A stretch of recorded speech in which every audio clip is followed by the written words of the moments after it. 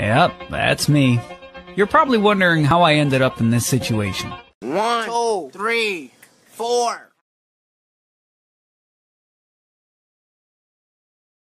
Okay. Next